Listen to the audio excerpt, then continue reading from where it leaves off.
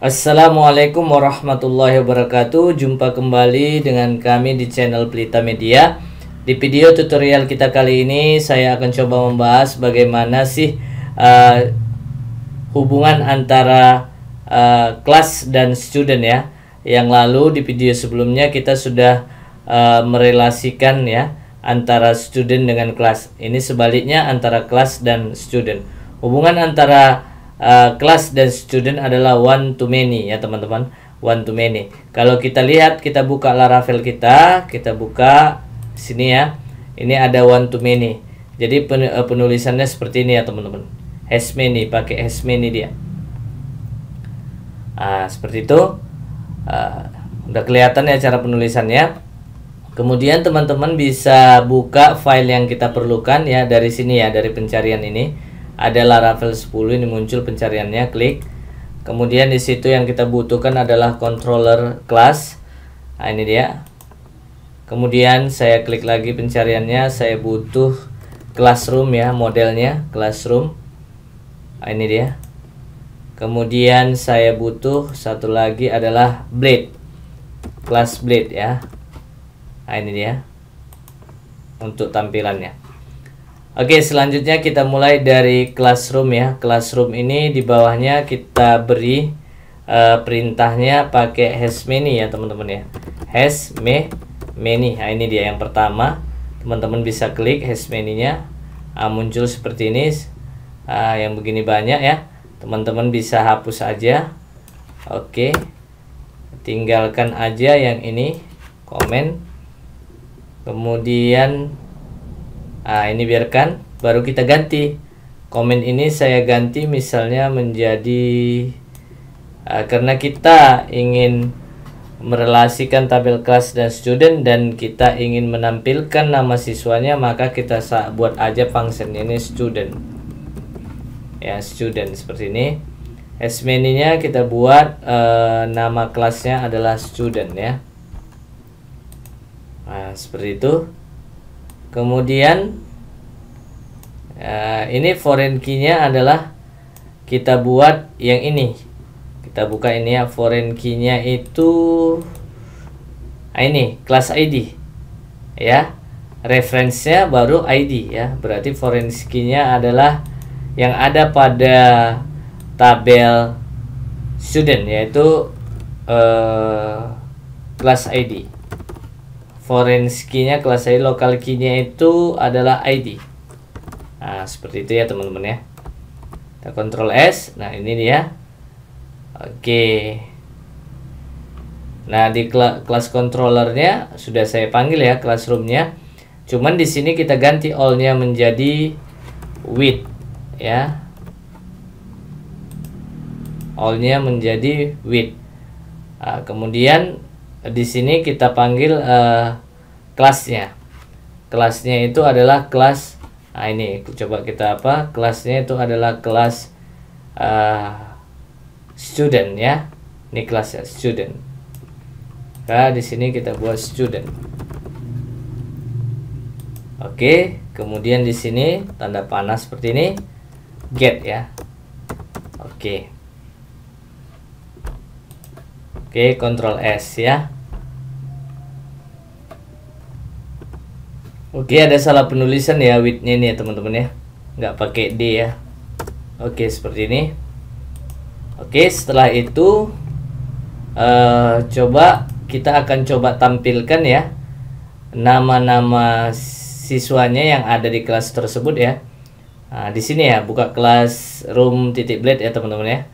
Kita buka, di sini kita tambahkan misalnya di situ student lah ya. Coba tambahkan.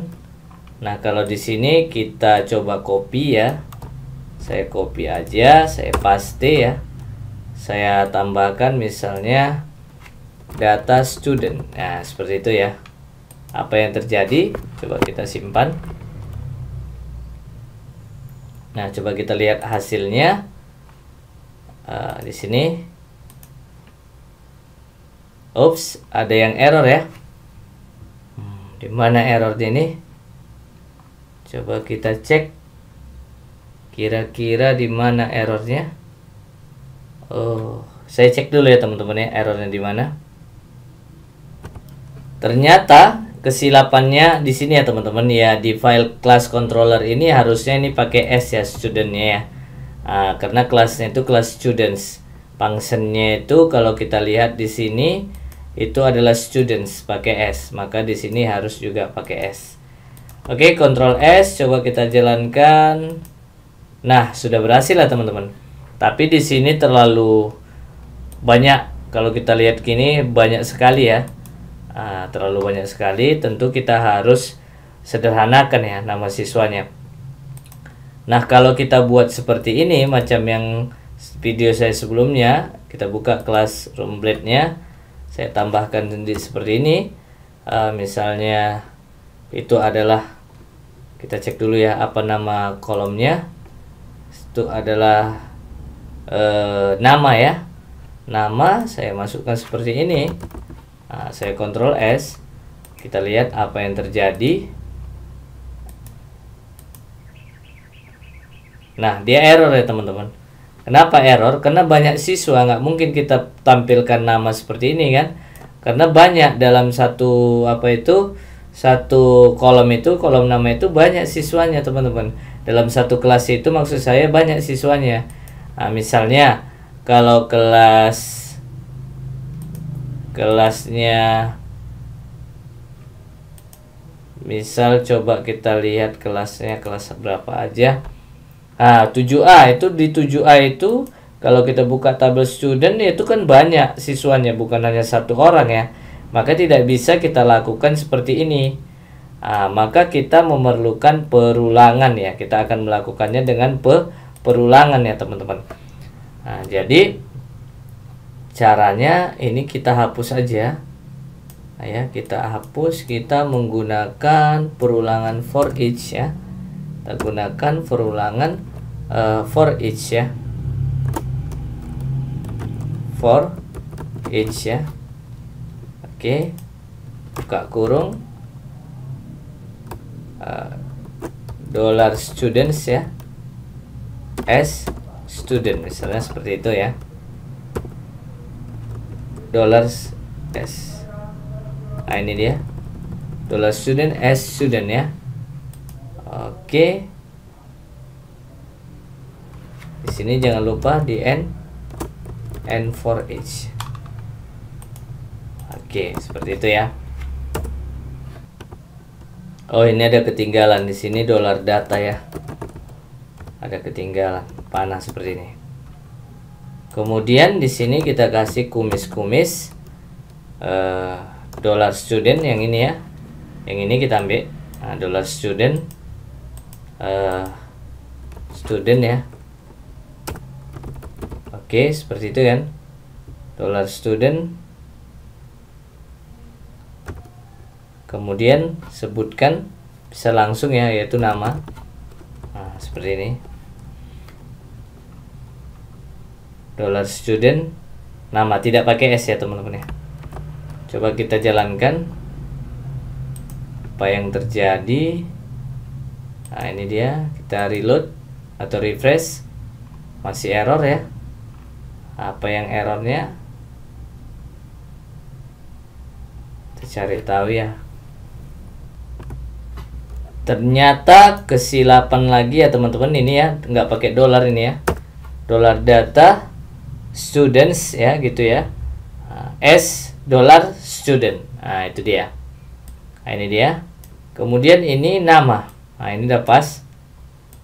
Ctrl S coba kita refresh nah berhasil ya. Cuman nggak turun ke bawah. Cara nanti nggak enak kita bacanya ini. Bersambung dia. Untuk turunkan ke bawah kita kasih BR sini ya. Ctrl S coba lihat. Kita nah kita kasih break. Udah mulai kelihatan ya teman-teman ya.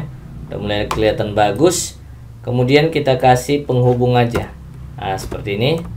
Ctrl S nah ini lebih mudah dibaca ya. Jadi kelas 7A itu ada berapa orang? Ini ada si John ada si Lina dan seterusnya. Ini juga 7D ada ini ya. Oh, dan seterusnya. Nah itu dia ya. Nah, sudah berhasil teman-teman. Jadi intinya eh, kita akan melakukan perulangan ya karena di dalam satu kelas itu bisa banyak siswa ya. Kalau langsung kita panggil uh, array nama ini tentu nanti tidak bisa karena banyak banyak siswanya. Penulisannya nggak mesti seperti ini ya teman-teman ya. Kalau kita ganti penulisannya seperti ini juga nggak masalah sih. Nah, saya ganti seperti ini ya nama. Nah, seperti ini kita coba ya bisa apa tidak ya ah tidak masalah kan tetap jalan nah, jadi bisa seperti ini penulisannya bisa menggunakan uh, array seperti ini nah, yang mana pun jadi ya teman-teman ya oke tapi lebih enak kelihatan menggunakan array ya teman-teman jelas dia ya pembacaannya jelas kita mudah memahaminya dibandingkan menggunakan tanda panah tadi Oke, yang ini ya. Nah, ini jadi diganti dia menjadi variabel dollar student. Nah, inilah yang kita pakai variabelnya. Kemudian kita panggil kolomnya, array-nya ya. Oke, seperti itu. Jadi di classroom itu nah ini functionnya student pakai s. Ya, functionnya student. Maka yang dipanggil itu students. Functionnya yang dipanggil ya teman-teman ya. Functionnya. Oke. Udah itu aja lah ya teman-teman ya. Nggak ada lagi ya. Kalau ada pertanyaan seputar tutorial yang kita bahas hari ini, teman-teman bisa beri komentar ya. Mana yang kurang paham. Terima kasih. Semoga tutorial ini bermanfaat bagi teman-teman yang baru bergabung. Silahkan subscribe, hidupkan loncengnya, serta share kepada teman-teman kalian agar mereka juga mendapatkan informasi yang sama dengan kalian. Terima kasih. Assalamualaikum warahmatullahi wabarakatuh.